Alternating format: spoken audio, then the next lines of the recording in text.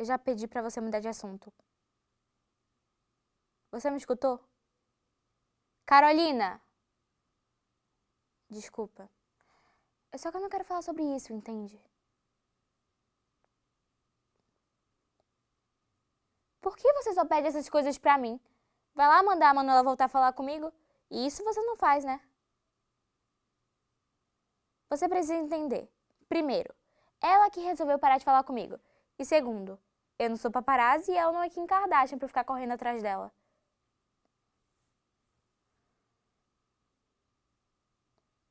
Cara, eu já falei várias vezes. Bora mudar de assunto, falar de outra coisa, sei lá.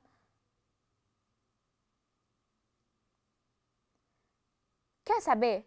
Se você vai continuar, ai, porque a Manu é minha best, ai, você precisam se resolver, fica falando sozinha.